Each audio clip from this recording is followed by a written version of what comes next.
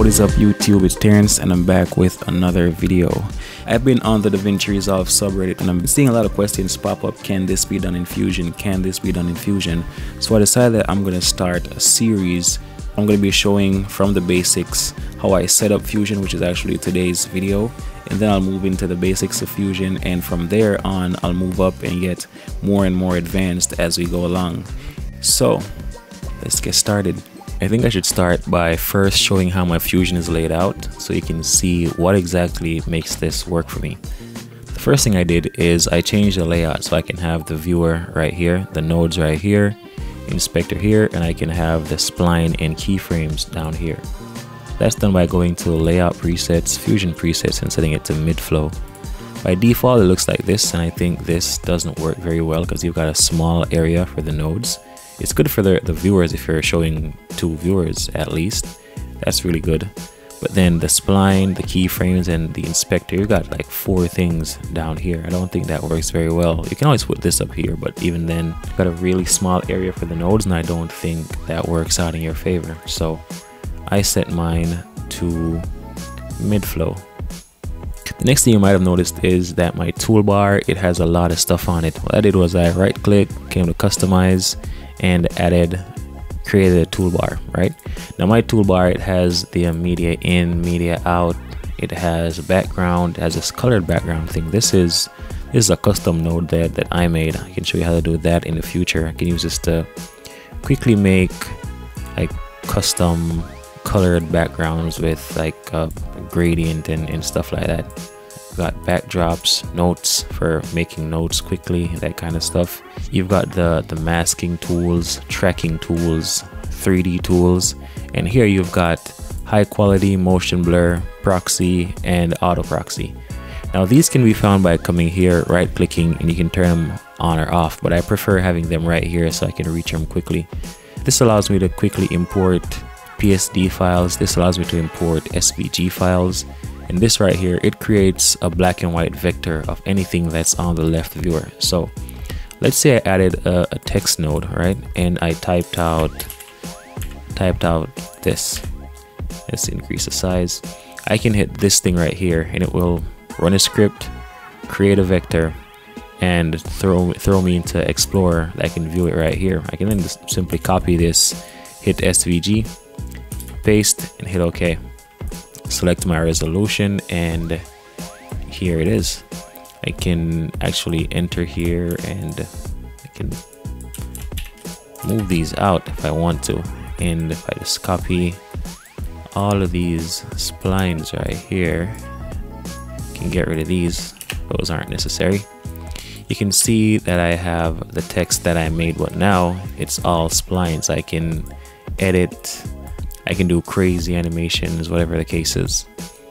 If I hit Shift Alt T, I get this little toolbar that I can use to make a few changes to to the viewers. Like I can select the left, I can turn on the domain of definition and stuff like that. It's got a few useful tools on it.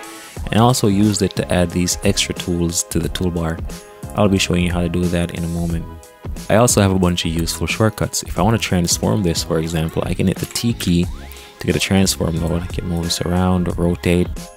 If I want to blur, I can hit B, blur this. If I want to add a color corrector, I can hit C. If I want to quickly write something out, I hit W. If I want to import something and not drag it in, I can hit R to read. And a few other useful stuff. I can hit Shift T, for example, to get a 3D transform. I can hit Shift I to get a 3D image plane, that kind of stuff. Instead of using Control Space, to get this select tool dialog, I just hit the tab key. All this was possible by using Nuke2Fusion from the Fusion reactor. You may also notice that everything that I import here that's a media file, you can see a preview of the thumbnail right here. If it's text, you can see a preview of the text. That's because I right clicked and turned on force source tile pictures. That way you can see the, the source file for everything that you, you have in your composition. I also turned on arrange to connected. That means if something is connected, like this transform is connected to the image, for example, it will snap into place as I get close to it, right? I don't like snap to grid most of the time, so I, I like to use this right here. I also turned off auto arrange because auto arrange tends to move things around and things can get crazy if you have a, a really neat composition. Like for example, if I were to have this right here and I decide to add a blur, I hit B, it's gonna move this out the way.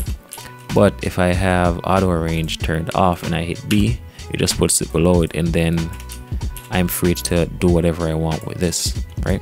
I also went in the options and I turned on build flow vertically. I turned off auto remove routers because if I were to say, let's say I added a router right here, right? And I wanted to swap out this file. If I remove that, then the router stays. If, if it was off, then this router would have been removed. And if I dragged in a new file, I would need to connect and then rebuild all the routers. I would need to recreate all the routers that I used to make the script look a little bit more neat. So I like to keep that off so I can delete something and it doesn't delete the routers that are attached to it. The other thing that I turned off is the grid. I don't know, I just don't like the grid. If you do, keep it on. If you don't, you can turn it off. Moving on to the keyframes and splines. What I like to do here is right click, come into options and disabling enable marker grab because if I'm on the edit page and I place down some markers and I go back to Fusion, let's say I wanted to animate something and I wanted to time it precisely. If I were to put a keyframe right here and I wanted to move this keyframe, I wouldn't be able to do this. It would move the marker instead. So if the marker grab is enabled, and I tried to move this keyframe, it's gonna move the marker, which is not what I want to do. So I disabled marker grab and now I can grab my keyframe and move it around. The same here, went to options and disabled marker grab. Sometimes it stays off, other times I need to turn it off by project like I'm doing here. Now the other thing that I did that made Fusion really easy to use is changing the grab distance and I'll show you. Let's go over here to Fusion and Fusion settings. Let's click on flow. Let's have a look at these options that we have here. The pipe grab distance, I turned this all the way up to 10 pixels. The link grab distance, I set that to 20 pixels. And the group opacity, I had that set to 100%. And if I should turn the link grab distance down to, I don't remember what it was by default, but let's say it was like 5 pixels, right? came here and I tried to, to, to click this, I would need to be very close to it, like 5 pixels close to grab it. If I try to grab from here, that works. From here, it doesn't work. So you need to be way more precise when you're doing this stuff, right? But if I came to the settings and turn this all the way up to 20, hit save, I can grab from 20 pixels away. So even this far away, I can still grab to make a link. And it's the same down here. I can grab from pretty far and drag it to make a link. So fusion settings you want to turn these all the way up and the group opacity. If it's low it gets kind of annoying because you see a bunch of nodes in the background. You're not sure what's in the group what's outside the group. So I turned this all the way up. I also changed a few other settings in here on the user interface I turned the grab distance all the way up to 10 from whatever it was before. I'm not sure what it was. And also here the touching and mouse wheel. I think it's set to, to shift by default or alt or something like that but let's say it was set to, to shift and alt right? You can't just use the mouse wheel to zoom in and out. You gotta hold the alt key or the shift key or something like that. And I found that to be very annoying there's some trick to turning this off right? So here in the fusion settings you need to if you try to click shift alt control it'll always just be jumping between them. You can't just turn them off like this. What you need to do is click ignore and then you can turn off ignore. Weird but that's how it works. Hit save and now you can use the mouse wheel to scroll in and out and you can click the, the middle mouse button and just drag around the other change I made is under general. Here where it says use simplified copy names. You might need to restart to get this to work, so I'm not sure if it'll work right now, but the behavior of copying and pasting nodes is, like in my case, it gives me underscore one, two, three, four, five. Before it was doing this weird thing where it would give me underscore one, and this would be blur one underscore two underscore one or something like that. But it's gonna add an underscore and a number for each copy and it gets really messy over time. So this is a good solution to that. It simplifies the naming. Now let's move on to the workspace. A cool reactor that I have is attribute spreadsheet. And what attribute spreadsheet does is it allows me to select a bunch of nodes, hit refresh, and then it's going to load all of these up in a spreadsheet kind of like like Microsoft um, Excel and I can search for any property on this spreadsheet. So let's say I needed to search for let's look at the blur. Let's say I needed to change all of them from fast Gaussian to multi-box right? I can do filter. And it's to find the filter property. You can see that blur 1 underscore 14 is set to multi-box which is the one that I have selected right here and the rest is fast Gaussian. So I can copy multi-box I can drag select everything and if I start typing just paste and now everything is set to multi-box all of these. So this will allow me to make quick batch changes to different nodes and it doesn't even need to be the same kind of node. Let's select the color correct let's select the transform the blur and this image plane. Hit refresh and you'll see all the properties for all of these nodes even though they aren't the same but all of them have a blend property for example. I can do a search for blend so let's put that at 0.4 this at 0.2 let's put this at 0.8 this is a really powerful tool. You can see what it's capable of. You can select a bunch of stuff and make a bunch of changes to a bunch of different nodes all at once Thanks for sticking with me through all this madness. Now it's time for me to show you how to install a Reactor and how to get attribute spreadsheet and Nuke2Fusion. So to get your hands on a Reactor, here's what you need to do.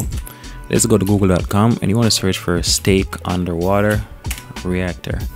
And here where it says getting started with Reactor, click that link. It's going to take you to the We Suck Less forums and you want to scroll down to where you see the download link, which is right here. You're gonna hit save, it's gonna give you a .lua file.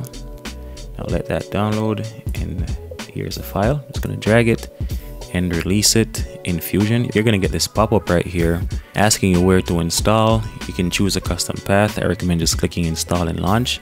You're gonna do that and then you can find it under scripts, workspace, scripts, reactor, open reactor. It's to take a sec to open the first time. Now you can start installing these extra plugins. They call them add-ons. The first one I recommend searching for is Attribute Spreadsheet. You can download this. You're also going to need to install Python 3.8. You can find that through a quick Google search and it's going to install PySide 6. If it doesn't install PySide automatically, you can come here to Workspace, Scripts, Attribute Spreadsheet and install PIP package. It's going to run the terminal and install it for you. The next thing I recommend is Nuke to Fusion. You want to grab this, just hit the plus icon, it's going to install it and you'll have all the cool shortcuts that I have. And then you can search for toolbar and you want to install toolbar for Fusion 16. Now this is where I got this cool tool that can hit shift alt T and it gives me this toolbar that I can pretty much add anything to. I recommend setting it to launch at mouse hit save. I'm not sure how to move this window around really. So it just launches wherever my mouse is. And when I'm done, I click exit. What I like to use this for is adding extra tools up here to this toolbar. So you click this little arrow and click add toolbars and actually you can hit new and it creates a whole new toolbar up, up here that, can, that you can add extra things to. I can't get this to save for whatever reason. It disappears after you exit DaVinci Resolve but whatever is up here it's gonna stick around. The cool thing about it is you can use it to add things that are in the menus that you usually can't just drag to the toolbar. This is what I used to add the Fusion, import, PSD, and SVG because I hate coming up here and going through all these menus. So I came here where it says um, tool, view, UIs. Under utilities. I can simply just click, I can click, drag, and just drop it. Once you're done, you hit OK and you can close resolve. It'll save the options and you'll have your fancy toolbar whenever you get back. Just remember, enable the toolbar. If you're on the default, you're just going to have the default tools. You can enable your custom toolbar. And that brings us to the end of today's video. So we went over the user interface, setting up a few things, changing a few settings to make things work a little bit easier and also installing Reactor, getting Nuke2Fusion and Attribute Spreadsheet. Reactor has a ton of cool plugins that you can check out and install. I recommend going through and seeing what you like and what can work in your workflow. But Toolbar 16, Attribute Spreadsheet, and Nuke2Fusion, those are three must-haves for me. So that's it for this video. I'll see you guys in the next one where I actually start doing something inside of Fusion and we'll move on from there and get more and more advanced. It's Terrence and I'm signing out.